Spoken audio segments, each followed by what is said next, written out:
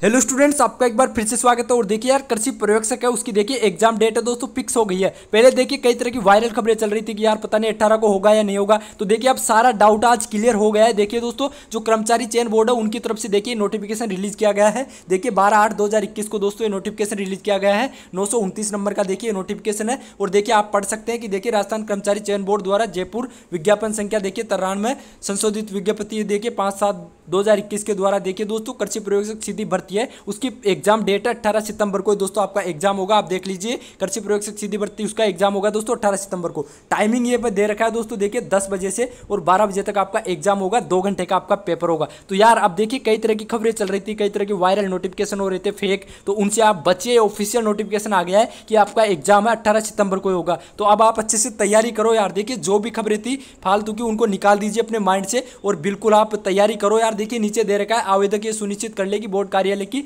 उक्त विज्ञप्ति व्यक्तियों के अनुसार ही पात्रता एवं शैक्षणिक योग्यता रखता हो। देखिए दोस्तों, ये दे रखा है और देखिए आपका जो ऑफिशियल एडमिट कार्ड है वो दोस्तों इस वेबसाइट पे आएगा। और देखिए ये नीचे दे रखा है कि और फर्जी खबरों से बचिए और कोई ऑफिशियल न्यूज़ होगी तो आपको इस वेबसाइट पर मिलेगी। तो यार बस अब आप जी लगा के मेहनत करिए, अच्छे से मेहनत करिए। हमारी तरफ़ से आपको जो भी हेल्प होगी वो पूरी तरह से की जाएगी और कोई नोटिफिकेशन आएगा वो तुरंत दे दिया जाएगा। अभी के लिए यही है कि देखिए आपका कंफर्म हो गया दोस्तों। अब आपकी एग्ज़ाम डेट है अट्ठारह सितंबर को होगी। किसी इतना ही यार आप जी लगा के मेहनत करिए। जय हिंद, जय भारत। मिलते हैं फिर किसी और अपडेट के साथ।